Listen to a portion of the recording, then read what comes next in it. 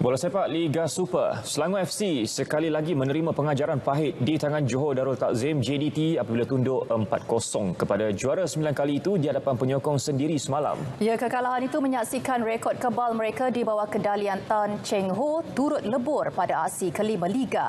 Selangor sebelum ini dilabel sebagai pasukan yang mampu mencabar JDT dalam kejuaraan musim 2023. Namun mereka gagal memenuhi jangkaan itu apabila dibolosi 4 gol pada pertemuan di Stadium MBPJ. Kesemua jaringan JDT hadir di babak kedua menerusi pemain import dari Spanyol, Yuan Muniz dan perancang dari Brazil, Diego Luis Santos. Manakala dua lagi gol disumbang ayam tambatan dari Argentina, Fernando Forestieri.